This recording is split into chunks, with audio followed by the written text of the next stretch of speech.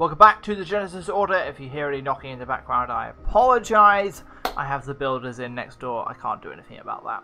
Now, let's jump through this update and quickly get through the story side of it. First, follow the exclamation mark to the Channel 4 building. Once you've done that, you're tasked with searching for Melissa. To do that, go to the strip centre and then walk into Dick's Grill. After that, head to the shop, and after you run into Ella, pop into the shop and pick up the glue. Then you can head to the strip center and enter the XXX store. After that, head to the warehouse to pick up the package for Tasha, and then take the package back to Tasha. By doing so, you will receive a love potion. Next, we'll be heading over to Ray's farm. After those scenes, head into the cave and follow all the way over to the right and up, and then you'll be able to go over to here now out and pick up this crate of bullets. Then exit the cave the same way that you came in. You should be greeted with Carol and Hannah at the entrance. Now, that is all the story part of it, and we're now on to all of the hidden items. So first and foremost, go to this chest on the right hand side of the farm.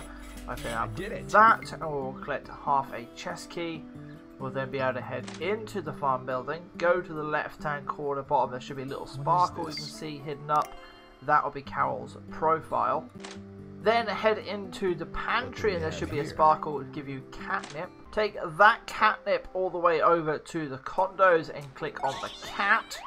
That will then knock down the other half of the chest something. key. You can then click on the chest key in your inventory and combine them to make the full chest key. Then we're going to head into the shop and buy the upgrade for the profile. And then finally it's getting back into the cave. It is now done through East Cathedral. So head into East Cathedral and head to Judy's bedroom. Head into the cave and then head to the left. You will then be able to use the arrows to get across the water. And then you'll be able to open up the box for the Kama Sutra page. And and that is that for this one. Hit like as always. Hit subscribe. These guide videos will be going up as soon as the update drops or about five minutes after. So these are going to be the first ones on YouTube. So hit the subscribe button to be the first person to be notified.